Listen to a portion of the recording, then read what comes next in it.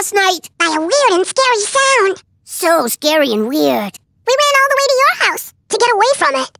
What was it? Don't know what it was or where it came from.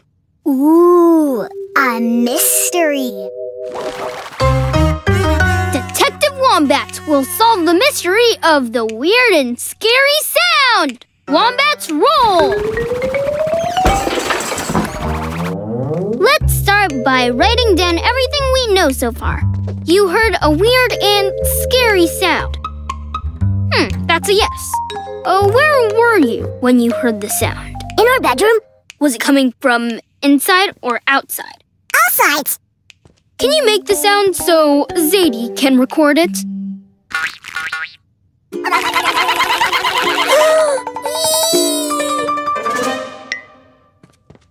Sounds like a tap dancing dragon with a nose like a kazoo. Really?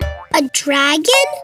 It can't be a dragon. We don't even know what a tap dancing kazoo nose dragon sounds like.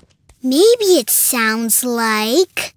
I mean, it's possible. Well, we can't just guess. We have to go to your house to find what caused the sound that scared you last night. Want to come with us? No thanks. We're good. Really, no your parents we're heading to your house, okay?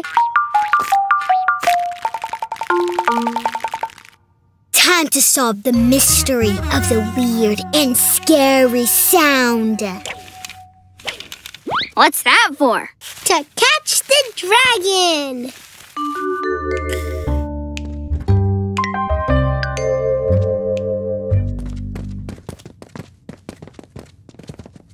Hear that? I don't hear anything.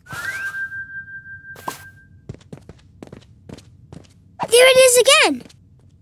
When we stop walking, I don't hear it anymore. It's the sound of our footsteps, Zeke. Aw, I was hoping it was that dragon. Me too. There is no dragon.